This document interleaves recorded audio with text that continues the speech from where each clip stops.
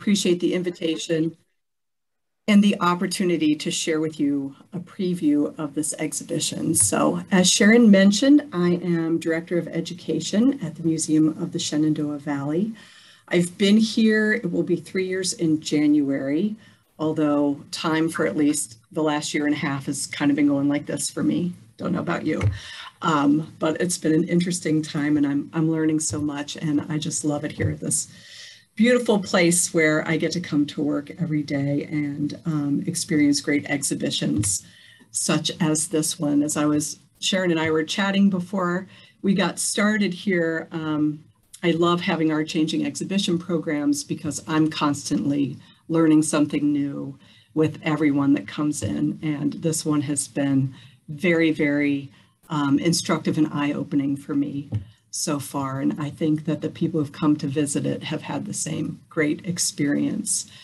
So um, this, this exhibition is uh, National Geographic's Photo Ark. And it features more than 40 large scale photographs of animals taken by photographer Joel Sartore.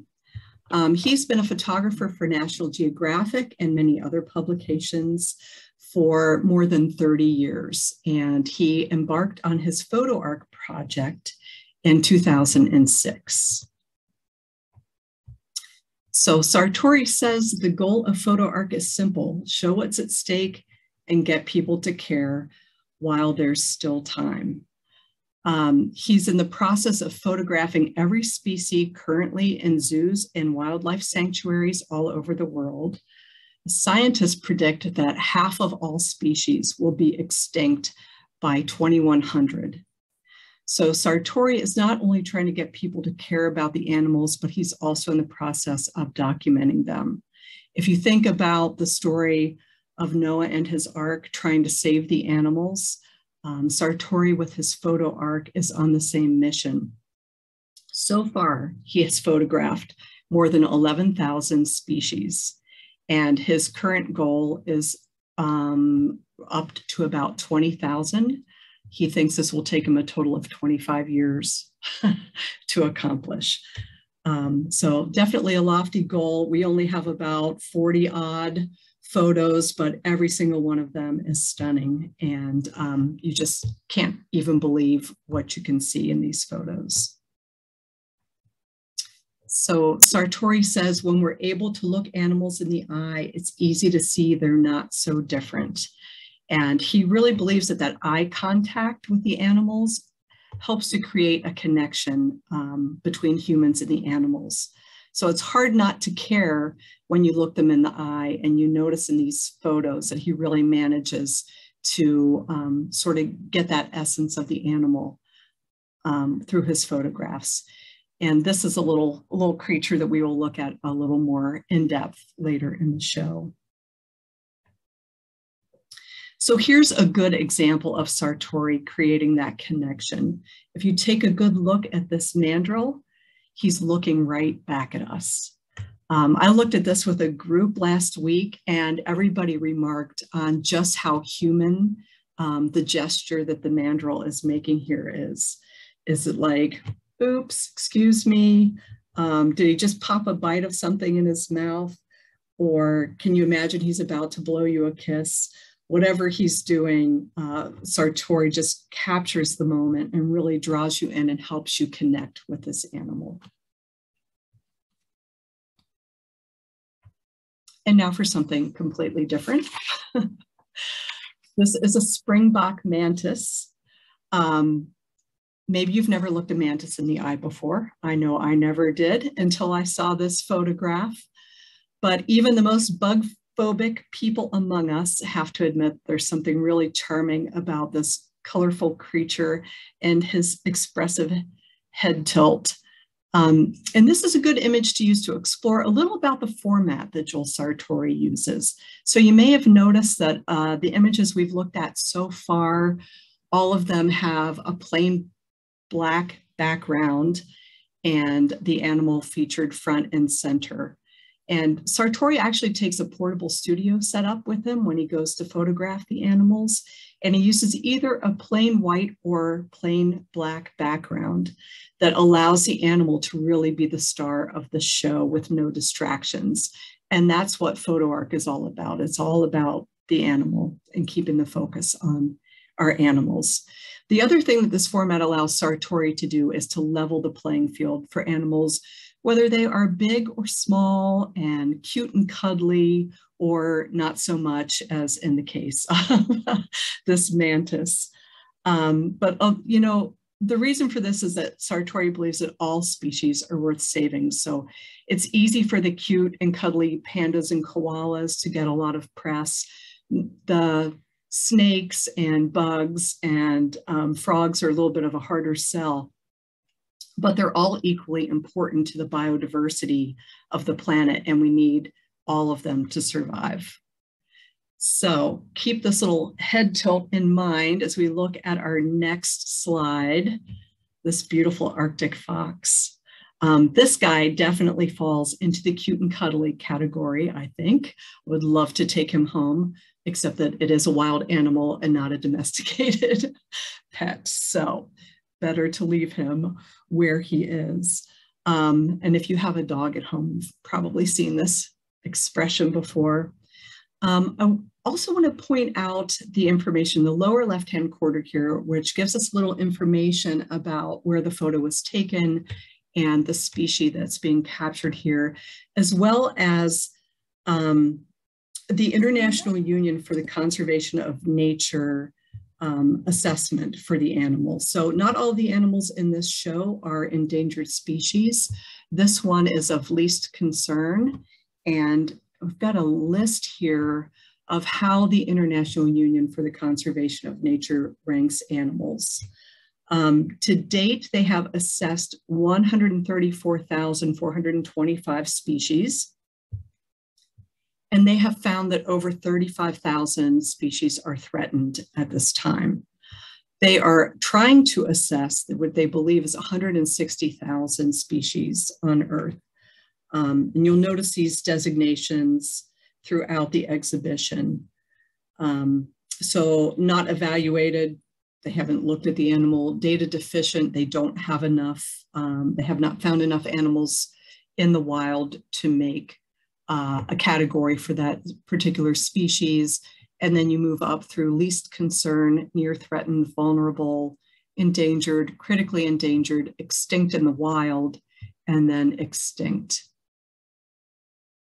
So Sartore's goal is to photograph all the species in zoos and wildlife sanctuaries. He's not trying to capture all 160,000 species that are believed to exist in the wild, but his own um, goal of 20,000 animals is still a pretty, pretty daunting task.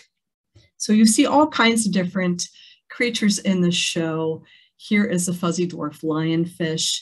I think the fish and the birds are some of the most amazing um, creatures that he has captured because they're so colorful and they're so beautiful sometimes it's hard to even believe that they're real. Um, this fish is of least concern, but if you look at the detail that Sartore captures here and the beautiful coloration of this fish, I think it's just super, super amazing, even though they're not like cute and cuddly like these guys. these are just cuteness overload um, coyote pups. And I know no one's really a, super excited about seeing a coyote in their backyard necessarily, but here in puppy form, they are absolutely adorable and of, they're of least concern, but still very, very beautiful creatures. And so these are kind of cuteness overload, but here is some more cuteness overload. I know you all just went ah at home, didn't you? You're muted, so I couldn't hear it, but I bet it happened. Um, who doesn't love a koala?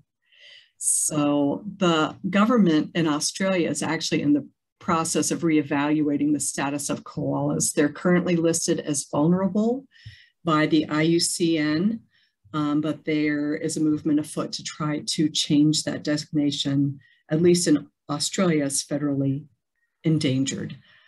The numbers of koalas have been dramatically reduced in several areas of Australia in recent years. They are being threatened by overdevelopment, which results in habitat loss. And as more houses are built and infringe upon koala habitat, um, it may surprise you that a big threat to koalas is actually dogs. So um, as people get closer and closer into those koala habitats, just the pet dogs are a big threat to koalas. And of course, you may remember that last year, um, Australia had terrible wildfires that destroyed vast amounts of habitat and killed thousands of koalas. So a lot of people believe they need in intervention at this time to help protect this species. And here's a little more information about Joel Sartore for you, the photographer. Um, he started the photo ark in 2006 after traveling extensively as a photographer for Nat Geo and the other publications listed here. He was at, at home base for an extended time in 2006 because his wife was undergoing breast cancer treatment. So he, he couldn't get out in the wild to photograph animals. So he went to his local zoo and started photographing animals, and the photo ark was born. Um, there's a lot of information on the National Geographic Photo Ark website about Joel and his project and um, information about a lot of the animals and ongoing updates about how many he has captured on film so far. So I encourage you to um, visit there. They have a lot of learning materials available also, but um, check out that website sometime if you want to learn more about Joel and his project. So here's Photo Ark by the numbers, as I mentioned, started in 2006, over 11,000 animals photographed so far. It's just mind boggling. Um, and he has traveled to over 50 countries so far to photograph these animals. And this was uh, a couple slides here that were provided with the exhibition um, from the National Geographic people. And I was really surprised by this statement that habitat destru destruction and climate change are expected to wipe out half of all species by the turn of the century. That is 79 years from now just mind boggling. And here's why it matters because biodiversity produces the food we eat and the air we breathe, cleans our water, limits the spread of disease, and maintains the climate. So the answer is when we're when we save biodiversity, we're actually saving ourselves. Um, when one species goes, it takes other species with it. None of us live in a vacuum or uniquely here on Earth, and humans are as dependent on other species and biodiversity as any other um, species is just for our basic survival. So we need to care. And um, I'm going to show you some of the pictures in the exhibit that uh, Joel Sartore intends for you to care. Now, the slides I'm going to show you will not do these pictures justice. As you can see in this picture, I put this in here just so you get an idea of the scale of these photographs. Um, these larger ones are five feet by four feet in dimension. And here you see our um, Director of Exhibitions, Corey Garman, and our Registrar, Lauren Fleming, in the installation of the show. So I just want to put, put our Arctic fox in here so you have some, some idea of the scale of these these pictures. Here are some little blue penguin chicks. Um, these are from my hometown zoo in Cincinnati, Ohio. I spent a lot of time at this zoo when my kids were little, and a good bit of that was spent in the penguin exhibit there. So I can tell you not only are they cute, they're also a little bit on the stinky side. And speaking of Cincinnati, you know, our football team is the Cincinnati Bengal Tigers. Um, I don't have a Bengal tiger here, but I've got a Malayan tiger. Um, and Sartore does a great job with this one, doesn't he? Making that connection with the animal. He's looking right at us, and he's even got a paw lifted as if he's about to, to want to shake hands. And then we have this Weeper capuchin. And this is one of the few photos in the show that does not show the animal's eyes. but I think we still make a really strong human connection with this with this photo because of this very um, human-like posture that the weeper capuchin has here. Um, and by the way, they're not called weepers because they make this pose, but because of the sound that they make. They have sort of a little mournful sound that they make sometimes. And I think one of the things that really helps us make that human connection with this photo is the hand of this animal. I've had so many people say, wow, look at that manicure. Isn't that amazing? But yeah, it's, it's very, very human-like and such an emotional pose. I think it's really um, strikes a chord with a lot of viewers. And here we have the world's cutest smiling turtle. Never seen anything like that. It's just a great, great picture with this little guy looking out at us. And here is a beautiful Syrian bear. Sharon and I were talking about bears a little bit earlier. This is about as close as I have ever been to a bear or ever want to get to a bear, but he's so beautiful. You just, it looks like you could just reach out and boop him on the nose or um, give him a hug or pet him, but don't because um, they're big. Uh, but this is just a great, great picture. This, I mean, he almost doesn't look real to me. Gorgeous animal. And that's one of the bigger ones. But then we also have little things like this four-toed jerboa. Um, I'd like to pet him too. Look at that beautiful fur. Um, there isn't a status, an IUCN status listed on this four-toed jerboa because they are data deficient. So they don't have enough information about them to give them a designation. Um, they're native to Egypt and Eastern Libya, and they have a very limited habitat range. Um, these are little nocturnal rodents, but just as cute as can be. And in this format that Sartore uses, he's just as big and important as that Syrian bear that we just saw. as I mentioned before, I think the birds are some of the most beautiful. Um, again, these guys are not making eye contact with us. I don't know how Sartore captured them both with their eyes closed at the same time, but these beautiful colorations of the feathers here are just really, really remarkable.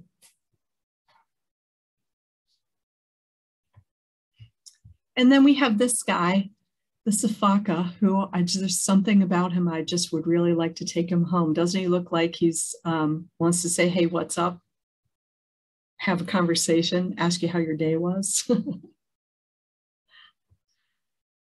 so some of the species in the show are endangered. Um, I have a few of them here for you and also some that are making a comeback. This is one of my favorite pictures in the show. Um, we have Aurora here. She is the baby with her adoptive mother, Cheyenne. Um, when Aurora was born, her mother showed no interest in her, in taking care of her. So Aurora was raised by the zookeepers and about 50 volunteers who um, monitored her around the clock. And when she was several months old, Cheyenne made an overture um, and adopted Aurora as her foster baby. This is Cheyenne's fourth foster baby now. So she has she has a lot of experience in the mothering department. She is 48 years old and Aurora is nine years old now.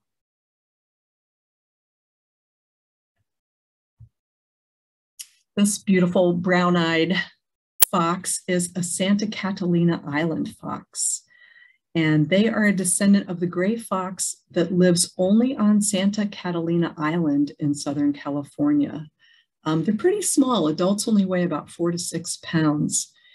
But in 1999, their population dropped from around 1,300 down to 100. And this was due to illness. They caught canine distemper thanks to some captive breeding programs, um, vaccination, and population monitoring, they're back up to around 1,800. So they have moved up from endangered to threatened now. And Sartore notes that um, zoos get a bad rap sometimes. People have problems with animals in captivity, but he knows that without these captive breeding programs, um, we'd be in a lot more trouble with a lot more species than we are. I think this is just a remarkable picture. I'll give you a moment just to just to take a look at this northern white rhinoceros. Little bit different mood here with this animal. And sadly, um, the rhino pictured here died about eight days after the photo was taken. There are now only two northern white rhinos left in the world. They are both females. I believe it's a mother and a daughter. And neither of them are able to breed. So um, Sharon referenced earlier when we were chatting the frozen zoo, um, scientists were able to collect material from um, male and female northern white rhinos, and they have some frozen embryos. And one of the best only hopes is to use a southern white rhinoceros as a surrogate mother um, if they're able to pull that off. So interestingly, southern white rhinos are not endangered species. There are about 20,000 of them living in the wild, but the northern white rhinoceros was hunted for its um, ivory tusks and animal sanctuaries for them have been in unstable um, political environments um, where they lost quite a few because of warfare. So the future of these animals is um, very much um, unknown at this moment. And just because that was pretty heavy, I decided to put these lemurs back in here. they are not endangered. They are vulnerable though. And um, what's interesting about this species is that the male is the only one that has that shows with the white fur around the face. So you see the female in the background there um, that has just all gray fur. And these animals live in what remains of the rainforest in Madagascar. They're listed as vulnerable um, because of habitat loss due to deforestation and also due to hunting. Here we have a Philippine crocodile that's critically endangered. Um, they have been threatened by habitat loss and hunting, and it's estimated that there are only about 100 of them left in the wild. So I've never thought of crocodiles as cute and cuddly. I've always wanted to avoid them as much as possible. Um, but again, really important animal to um, food web and biodiversity. They tend to be at the top of the food chain. And um, if you lose the crocodiles at the top, it throws everything else out of whack as well. So also not cute and cuddly is this little guy. Um, I had no idea what it was when I first saw this picture. Um, critically endangered axolotls. Uh, I think he just has the cutest smile though, doesn't he? It's just like he's given us the side eye. He's really grown on me. Um, an axolotl is a type of salamander and they live only in a small area of Mexico near Mexico City. They're really um, important and unique. They live their whole lives in water, which is not like other salamanders. And they keep some of their larval features for their entire lifespan. So if you notice these really unusual, like frilly gills that they have, the fringy gills here, um, they also have a dorsal fin that runs down the length of their, their spine. Um, those are unusual features. The other interesting thing about them is that they have the ability to regenerate limbs. So they are very interesting to researchers. Um, there have been captive breeding programs that are underway and they are reintroducing axolotls to the wild. Uh, habitat loss, pollution, um, and hunting have all threatened the axolotl. They are considered what is it, roasted axolotl, I believe, is considered um, a delicacy in Mexico. So we need to protect this important animal. And then we have some animals that have gone past the point of no return, unfortunately. Uh, the dusky seaside sparrow. This is the last one um, who died in 1987. His nickname was Orange. Um, the habitat, these were uh, native to Florida, and their habitat was destroyed by development. And then there was a wildfire in the 1970s that wiped out a large number of them. So these have not been seen in the wild, and this was believed to have been the last one. We have Rabb's fringe-limbed tree frog, also critically endangered, probably extinct. This is the last one that was known. His name was Tuffy because he hung in there for a really long time. Um, amphibians are particularly vulnerable to pesticides and pollution and habitat loss, but they're you know sort of a bellwether species that uh, we need to pay careful attention to. Chucky madtom is a type of little catfish, and they have not been seen in the wild.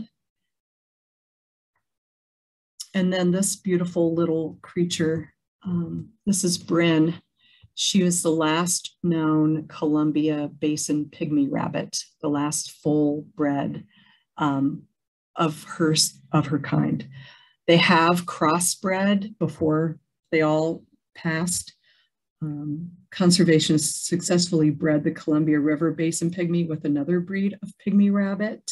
So there is still some, some form out there. They've had captive breeding programs that have been successful. Reintroduction to the wild was uh, pretty touch and go for a while. They've they've sorted out some things, but these are tiny little rabbits that like fit in the palm of your hand. I mean, they really are pygmy rabbits. So you can imagine um, the lot of predators out there for an animal this size. Um, but after some initial challenges, they've got some things sorted out and they're doing much better with reintroducing this, the new high, newer hybrid um, pygmy rabbits to their habitats. And then we looked at this guy on our very first slide. This is um, federally endangered Florida panther. We believe that there are only about 130 of them left in the wild. So again, more, more protection, more help is needed, more intervention is needed for these animals. Um, also some success stories though, that was, that was all very heavy, but there's some, some success stories. The giant panda, for example, who doesn't love the adorable pandas. Um, some of my favorite things ever is every year when we have the first snow and the Washington Zoo puts out videos of the pandas rolling around and playing in the snow. They're just adorable creatures. And I'm happy to report that as of this July, the Chinese government has removed pandas from the endangered species list and they now list them as vulnerable. The International Union for the Conservation of Nature um, changed the designation for pandas in 2016, also listing them as vulnerable. There are now about 1,800 pandas living in the wild, which is a strong rebound from their numbers in the year 2000 when there were only about 1,100 known to be living in the wild. There are also several hundred more in breeding programs and in zoos. Um, but even though their numbers are coming back up, there are a lot of challenges for giant pandas, including the fact that the females are only fertile for about 24 to 36 hours per year. So a very, very narrow breeding window. And if they do successfully breed, you get a baby panda that's about the size of a stick of butter. So very, very vulnerable animals. Um, course, they also live strictly on a bamboo diet. And um, even the bamboo is threatened by climate change. So their habitats um, and their breeding programs will continue to need intervention to maintain the species. Here's another animal that's making a comeback, the Mexican gray wolf. The population of Mexican gray wolves has increased slowly but steadily over the last five years, thanks to breeding programs and conservation efforts. The most recent count, which was just conducted the end of last year, beginning of this year, I believe it was November concluded in January of 2021, found about 186 living in the wild now in New Mexico and Arizona. This is up from only seven, seven Mexican gray wolves in existence in 1977. There are approximately 350 more wolves who are in active breeding programs and facilities. Um, and they're, you know, trying to get a, a stronghold back in the wild here. So it's encouraging to know that if we take action, we can help save some of these species. And then we also have a section of behind the scenes um, photos and videos um, that show the process of that Joel Sartore goes through to get these amazing photographs. The video is really quite entertaining, but you'll have to come to the museum to see that. Um, but we have a couple of photos for you here. See there, here he's got his plain white background that he takes with him. And here's uh, just a camera lens with a chameleon. And this is another one of those animals that you just like blown away by the, the colors and everything about this creature. And just to share a few more of the animals in the show with you, we have the golden snub-nosed monkeys. This little guy is not too cuddly looking, but it's an armadillo. Um, and if you look real closely, I don't, I hope you have a big enough screen that you can see this, but the, the shape of the scales on the armadillo are, there's all, they're almost like flower-like, which is just amazing. And did you know they had all that hair? Well, they're weird little toes, but he's beautiful in his own way. Adorable chimpanzee, baby chimpanzee. I love this Budgett's frog who looks like he's singing. And then this really, really elegant, beautiful okapi. And then we wanted visitors to have an opportunity um, to reflect and to give them sort of a call to action. So we have this feedback board that we created in-house um, that asks visitors, what can you do to help? And we share some of the threats to species and causes. Um, and we just wanted people to, to you know, be thoughtful about this. Almost all of the threats to the species on the planet are caused by humans. Pollution, pesticides, habitat loss, climate change that is resulting in wildfires, extreme weather events, flooding, and rising sea levels. Uh, it's up to us to help protect all of the beautiful and the not so beautiful creatures on our shared planet. Um, I think, you know, we've seen some really, really great um, comments here on our feedback board. One of my favorites was written by someone small, if I'm to assume from their printing, but it says, um, do not bump into animals even if big. So I think that's also good advice.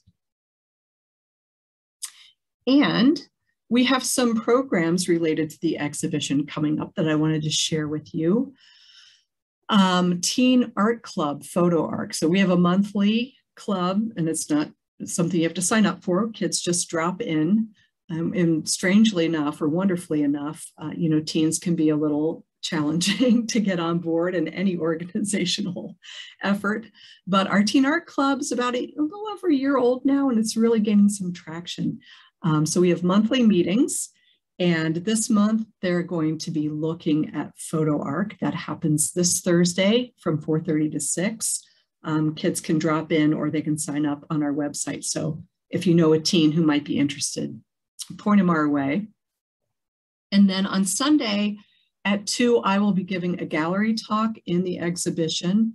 Um, I think we have a few spots left in the gallery talk so you can experience these, these um, images in, in full life in real time. And then as part of our, we have a monthly lunch and learn um, series also that is held virtually. And this month we are going to be featuring Deanna Orr from the Virginia Living Museum down in Newport News. And she's going to talk about animal conservation as it applies to Virginia in particular. So a little more, bringing it a little closer to home here. Um, that's a virtual program.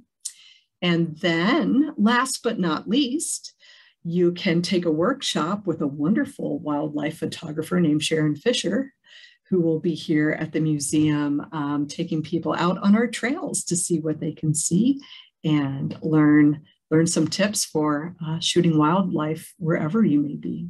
So check us out at themsv.org. You can sign up for all those programs online there, or there's also a phone number to call where you can register if you prefer to do it that way. And that is the end of my slides. So if anybody has questions or comments, um, I'm happy to entertain them. Just, Shar, just if you want to unmute yourself. Oh, I just wanted to say thank you so much um, for doing this. I was really happy to stumble across it. I had no idea this was at the museum and has always been a huge, huge favorite of mine. I have one of his books. Um, and just once you've seen it, you can't forget it. It is so captivating. Sure, I did. I forgot to mention the books. Here we are. It's a library program. Yes, there are. I'm glad you mentioned that, Char. There are lots of um, books um, for different audiences that uh, Sartore and National Geographic have produced. So check those out too. We have some in our available in our shop here. Mary, I just wanted to say what a beautiful presentation you did. I cannot wait to come to the museum and see the see the the whole presentation. I mean, it was you did a beautiful, beautiful job. Thank you so much. Thank you. Thanks. I really appreciate that. And um, when you see it in person, it's just has that much more of an impact. It really does. Uh, and one of the things I really love about it is, you know, we talk about going to zoos, but um, which are wonderful, but here you get so close to the animal and it has such an impact. Um, I, I do hope you'll you'll come out and see it in person. Absolutely. Thank you. I'm really happy to know how to pronounce axolotl now. I was saw that. I was like, oh, how is that pronounced? I had to look it up. Hey, good job. like I said, I'm yes, i we're all here to learn. That is, I'm all about lifelong learning, and I, I, I walk the walk and talk the talk. Yep. No, that was great. Yeah, you learn so much just from a single image from this. It just, mm-hmm. it's just amazing. You know, and, and sometimes as a photographer, I I end up seeing things in an image sometimes that I didn't see in the field or something else because our cameras are so good now in terms of of capturing things that I go back and and say, wow, I didn't even notice that the fine detail, or as Mary was saying, uh, things things that looked like um, flower shaped scales on on the animals, and not everybody can travel. I, you know, to the first time I saw an elephant in the wild in Africa, I cried. You know, I just to see and experience a mountain gorilla with its young, and then notice, as Mary was saying, these human attributes of um, one of my favorite gorilla pictures is of the gorilla picking his or her nose and then looking at it. guess where that finger went? Right in the mouth. and that type of thing. And then you learn that that you know they have all unique um, fingerprints gorillas and you know how much uh, connection and how precious these species are whether they're the big charismatic ones or you know even the little little things that you notice about the praying mantis. And yes I, I have been on the ground taking pictures of praying mantis and they do have the best little expressions in their heads you know just being able to capture that and share it makes the them makes that next generation that's going to have to pick up and do the work that we're doing also um, connected to the to these animals and how important that connection is so um, think of, of what we we can do with our photographs and and getting getting people engaged in in that because it is about being able to see and understand what that loss would be um, yeah well and i think this exhibition is really having that impact. I know it has on me like i don't use plastic bags anymore. I'm trying to cut back on all of my plastic use um, and do reusable things and I'm what I'm really struggling with right now is stepping on the spotted spotted lantern flies. I know they're an invasive species and we're supposed to to kill them and it's I'm I'm struggling. I can't do it either. Yeah, it's hard. Yeah. um, I see Catherine's comment in the chat about Joel uses black or white backgrounds, it was unusual to see the stars in a night sky behind the Mexican yeah. gray fox. And we also noticed it has like some little snow or something no. on it. Yeah. And that one looks like it was outside. Yeah. yeah, we're so we're trying to to get more information about that. We just haven't haven't tracked down the circumstances for that particular photo yet, but it's really really a beauty. And Missy's asking were they taken in raw? I i just looked up what his equipment was and um, yes he's he is doing processing. Uh, you the depth and dynamic range of these pictures definitely were taken in in raw. Um, you just lose too much with the camera making the decision about how to compress the image. So definitely he and he is a nikon shooter. And I can, he's got a whole list of equipment that he takes out with him. It is far, it is far easier to have the the animals in a captive environment where you can put up a, a studio around them. Um, they're also used to being handled a little bit in the wild. What we try to do is we try to look for how do you isolate that animal so that you get that the image of the eyes or something. And, um, you know, it, it depends on your comfort level. You know, a lot of wildlife photographers use really long lenses to get that that close to the to the big, more dangerous animals. Um, and then Mac, and then if you noticed, uh, Sally probably was looking when he was taking the insects. He, it looked like a um, a macro lens that he had on the on the smaller ones but I can send for anybody that's interested, I can send his a link to all his technical paraphernalia. He he does he does not travel light, so um, to do these setups. But um, yeah. And every one of those pictures has such a wonderful backstory to it, and I appreciate that you shared some of those. Uh, but every single one, it, it just as if you couldn't already see it in the in the photos though but it goes to show how much care he put into each one and how much each one mattered which is the whole point. But yeah mm-hmm. the, like like the arctic fox like how he had to make the the noise to get it to turn its head like that. And yeah little things like that are so fun. Yeah.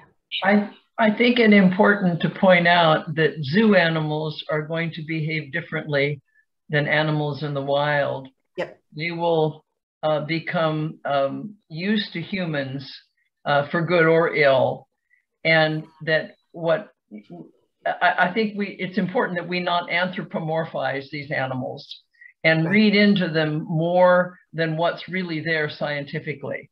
Um, that um, uh, insect in this pose of oh the um, you know, he, he, was actually defending himself. He's not looking at us in the eye. Right. Uh, so it's important that we we remember that um, the photographer was was dealing with captive animals who were used to human, habituated to humans somewhat. True. Very true. And, and that's a, a, a thing as a wildlife photographer. I, I really try not to i know my presence affects wild animals period you know even the click of my camera can affect a hummingbird sometimes um, and so i know my presence taking pictures of wildlife that i want to minimize my effect on on the animals and have a real ethical way and i was with a photographer in British Columbia and another photographer made a small noise to try to get the um, grizzly bear to look in a certain way, the brown bear. And this photographer said, we do not do that here, even to change the head angle.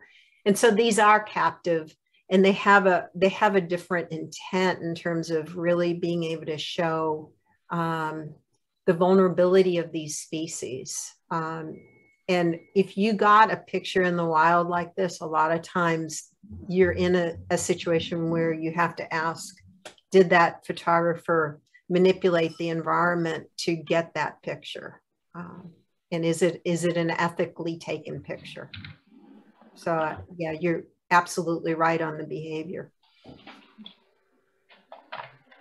And that's nice that he has taken advantage of of the fact that these animals already have some human contact and so that it's not as probably not as stressful for them. I know that he, he tries to create a really comfortable and not invasive and invasive environment for him when he does the photography, but you know, how nice that he draws such attention to them. Other questions, comments?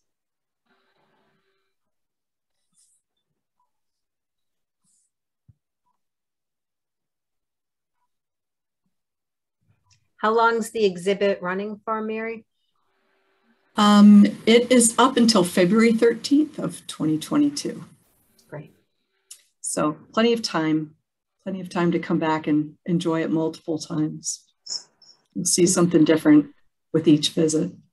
I'm sorry to keep talking, but I absolutely love Samuels library and I love the the museum. So this was really nice collaboration. Do you guys do this often? We're planning another program, um, a little bit different. It's um, a, a, book program on um, called Cousins, and it's about the Kilby cousins um, from our local area. I don't know if okay. people know the the story about the Kilby family here. That um, they're they're some of the the original African American settlers in the area, and they were not able to go to school um, in Warren County in high school. And in this particular book, um, they found uh, one of the cousins found another cousin relative that was not African American, and they've written about that experience together. And we'll be doing that program in November with, with the museum because it's going to kick off another exhibit that's coming um, this winter, which is a civil rights photography exhibit. So this was a, a good way to start uh, start that that program. And so when that program also comes in too, we we might be doing another joint program.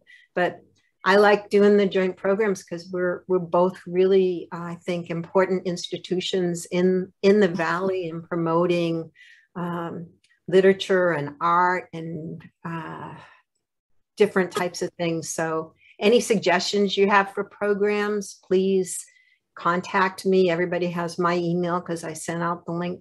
Um, and we're really open for su suggestions on how we can expand our adult programming. Um, please, please let let us know if you have suggestions.